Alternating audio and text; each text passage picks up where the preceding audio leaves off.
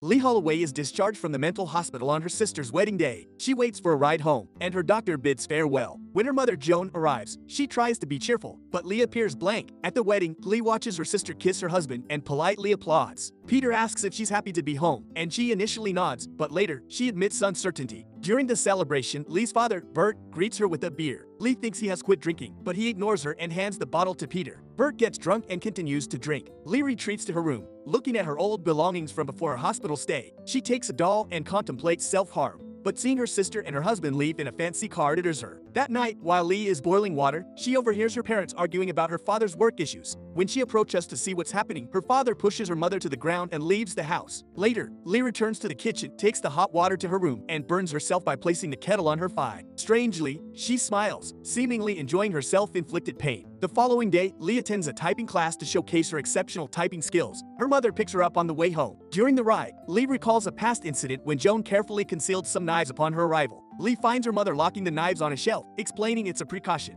Lee stares at her and then goes outside to dispose of the trash. In the trash can, Lee discovers her old needle and thread bag and decides to keep it. As she holds the bag, she also finds a newspaper page with job advertisements and takes that too. Back in her room, she examines the job listings and practices potential interview responses. The next day, Lee visits an address she spotted in the newspaper. Upon entering the office, she's surprised to find a woman who had left in tears, leaving the place in disarray. Despite the chaos, Lee forges ahead and eventually locates Mr. Grey in the office. He's gazing at a photo of a blonde woman before Lee's arrival. After introductions, Mr. Grey asks Lee some unconventional questions, like whether she's pregnant and if she lives in an apartment. Nervously, Lee answers these questions. As Mr. Grey delves into Lee's qualifications and awards, he presses a button revealing a stunning garden that surprises Lee. She hands over her typing results to Mr. Grey, preoccupied with his phone. He requests a coffee, and Lee agrees, heading to the food pantry to prepare it. While trying to refill the water cooler, she accidentally spills water on herself. When she returns to Mr. Grey's office, he remarks on the potential job monotony and notices Lee's nervousness. He suggests she relax, but Lee smiles and confesses she doesn't know how. Just as the phone rings, Mr. Grey advises her to ignore it and mentions using less sugar in the coffee next time. After this exchange, Lee goes to Joan's car, excitedly sharing that she has secured the job. Back at home, Lee decides to unwind in the bathtub while practicing her lines for work. The next morning marks Lee's first day in Mr. Grey's office, where she takes on various tasks, including running errands, organizing paperwork, sending documents, and handling multiple responsibilities. Later, she often watches Mr. Grey from his office as he tends to the garden's flowers. Eventually, she enters his room and leaves some donuts behind. Mr. Grey mentions that he has thrown away some notes, and Lee offers to search for them in the trash. Before leaving, the two of them share a long, silent gaze. As she delves into the trash, Mr. Grey curiously observes her from the window. When she finally finds the file, she returns to the office, only for Mr. Grey to dismiss her, claiming he had found a copy. Instead, he assigns Lee more tasks. Despite her efforts, Lee struggles to set a mousetrap with a chair. Mr. Grey began to review her work, and their eyes met again, locking onto each other until the phone rang at the front desk. Afterward, Lee tended to the injury that Mr. Grey had seen earlier. Feeling a bit embarrassed, she packed her things and Mr. Grey observed her as she stood by the door before leaving. When her workday was over, Lee and Joan discussed Lee's first day, and Joan mentioned that Peter had called her, bringing a smile to Lee's face. Later, Lee met Peter at a nearby laundromat, and while they chatted about relationships, Lee took a big sip of her drink. They talked about how much they had changed since high school when suddenly, Mr. Grey walked into the laundromat. He noticed Lee and Peter discussing underwear before they shared a kiss. Grey quickly averted his gaze and returned to his car. The following day at work, a frustrated Mr. Grey hurried over to Lee, handing her a letter with three typographical errors. Lee awkwardly apologized, but Mr. Grey continued to scold her, telling her to retype and correct it. Throughout the day, Lee worked hard to fix her mistakes, repeatedly redoing the letter, which frustrated her. Lee approached Mr. Grey's office to submit another letter. Initially, he ignored her and told her to create a bill for a woman outside. However, he suddenly noticed a tear on Lee's skirt and scolded her. He criticized her attire, scolded her for excessive sniffing, and commented on her restlessness. Lee then went to the food pantry, where she practiced to thank Mr. Grey for his advice because she aspired to become his best secretary. But just as she was about to return to his office, she suddenly heard him screaming and reprimanding someone else's typing work. Anxiously, she returned to the front desk, playing with her hair. Later, after leaving the office, Lee went to Peter's house to tour it with Peter's parents. The next day, Mr. Grey called Lee into his office, instructing her to answer the phone. Lee was confused because there was no ringing,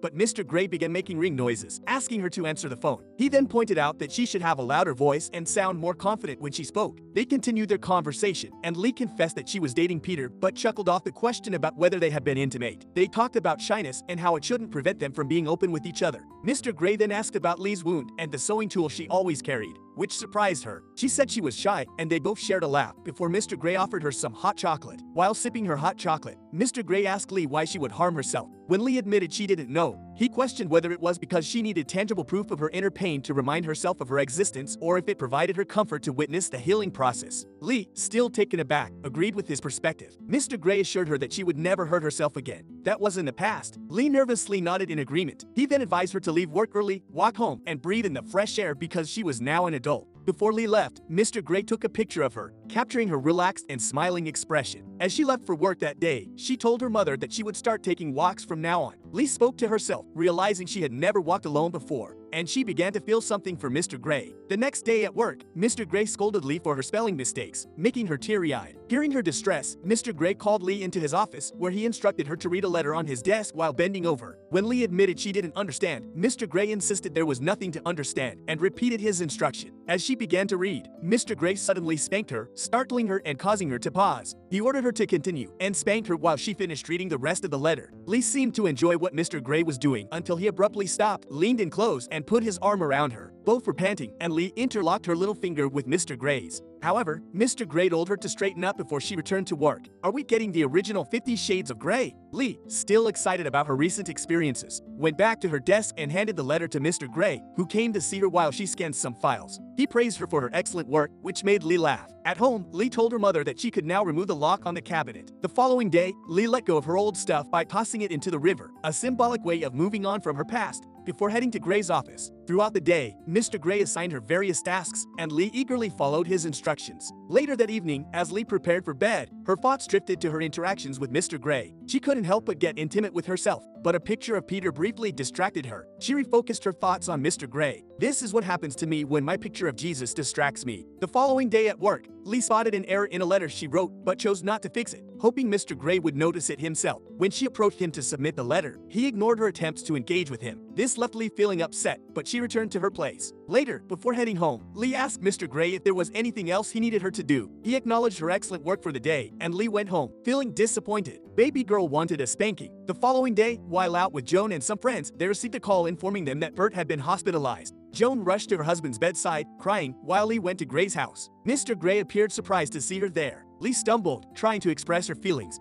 but she eventually made up an excuse about needing a letter for the next day. Mr. Grey thanked her for the reminder, but turned down her advances. In the following days, Mr. Grey distanced himself from Lee at work, moving her out of the office and ending their previous interactions. He even threw away the red marker he used to correct her typing errors. Lee desperately tried to win him back by any means necessary. Later, Lee found herself in the bathroom, attempting to recreate the sensation she had experienced with Mr. Grey, but she couldn't quite capture the feeling. The following day, she discovered a worm in the yard and placed it in one of Mr. Grey's letters. When Mr. Grey found it, he cleaned himself in the restroom, and Lee watched him eagerly. Later that day, Lee was in bed with Peter, but her thoughts kept returning to Mr. Grey. Even though she allowed Peter to be intimate with her, she still seemed unsatisfied. The following day, Mr. Grey found the letter with the worm and circled it with a red marker to point out her mistake. When Lee entered his office, she heard someone ringing the doorbell but Mr. Grey told her to ignore it. He then ordered her to undress and bend over, surprisingly, but she reluctantly went along with it, allowing Mr. Grey to touch her. After he finished, she returned to her desk, feeling puzzled but seemingly content with the encounter. Later, at a nearby restaurant, Lee listened to a recording about being submissive or dominant while Mr. Grey burned photos of her outside, watching them melt. The following day, Mr. Grey called Lee into his office and asked her the same questions he had during her job interview.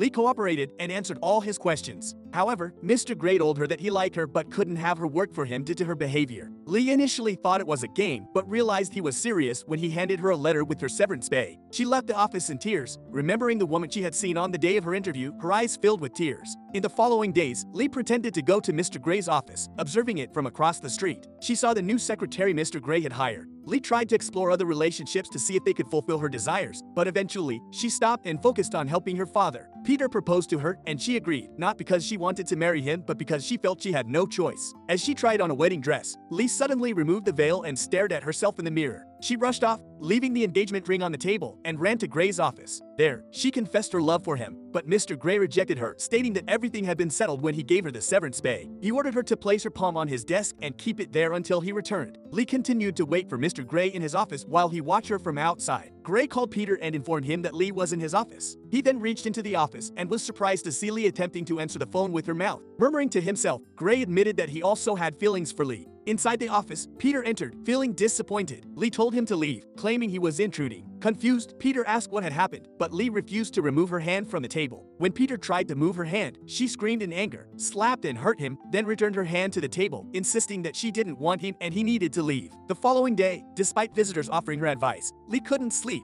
She ignored the support of others and continued to stay in the office. Meanwhile, life outside the office carried on, including Mr. Grey, who stayed at home thinking about Lee. On the third day of Lee's stay in the office, local news reporters covered the story outside, drawing people's attention. Later that night, Grey returned to the office, held Lee, and gave her coffee. As he saw her being taken out of the office and driven home, he breathed a sigh of relief. He carefully placed her on the grass, looking both happy and relieved, and then prepared a bathtub. Grey cleaned her gently, washing her and drying her with a towel. Afterward, he placed her on the grass to gaze at her body, carefully examining each of her scars. Lee expressed that it was the first time she truly felt beautiful. The next day, Lee asked Grey about his life as she kissed various parts of his body. She inquired about where he was born, and he told her he was born in Des Moines, Iowa. They shared more intimate moments as they started to resemble any other regular couple. Eventually, they got married and had their honeymoon in the mountains. What a kink. If you're into that sort of stuff, then this movie is definitely for you. What did you guys think of this one? Subscribe to watch more videos like this. Turn on notifications. And leave a like it really helps the channel out. Thank you for watching.